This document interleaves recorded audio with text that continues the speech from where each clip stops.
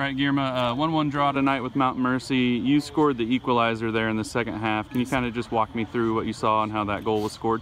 So how that game came was um, we dribbled down the line and they kicked it out of bounds, and one of our uh, one of our center mids crossed it in, and that, that's that's when I was able to header the ball in, and yeah, it was a great feeling scoring that goal to uh, equalize it. Oh, sorry to interrupt there. Um, you know, it's not a win, but what can you take away from the draw tonight? Um, from this game, we just got to look forward. You know, this is this is not a bad game to lose. I mean, to equalize. So we got it. We're gonna get it next time. We got a game coming up on Wednesday, so that's when we're gonna redeem ourselves.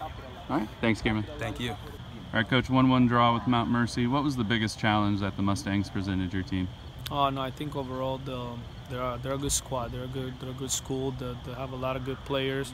Um, you know, we we've the game kind of played out to be, you know, they were better than us at times, and then we were better than them at times. Uh, the times that we were better, uh, we managed to create many opportunities to win the games. Uh, the times they were better, we were able to contain it with the exception of that one mistake that we did in the back. So uh, I'm proud of the guys. I'm proud of the effort that they had today, uh, tonight. Um, obviously, a little disappointed we didn't get the result that we needed. Uh, but at this point, the only thing we can do is you know, move forward and, and get back to work. What maybe could have gone differently to get that second goal?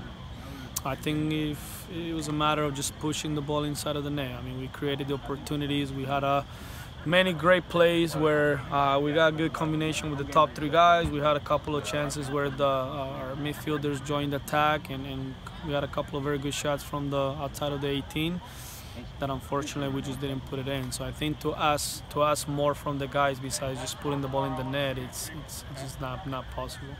All right, thank you, coach. Thank you.